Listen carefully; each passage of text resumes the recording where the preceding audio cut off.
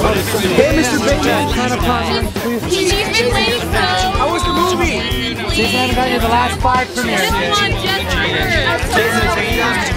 Jonah, how was the movie? What was your favorite part of the movie? Do you want to spoil it for everybody?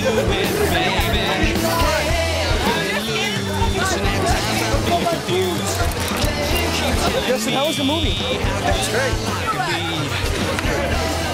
All right, Justin, have a good night. Have a good night. Jonah, have a good night, man.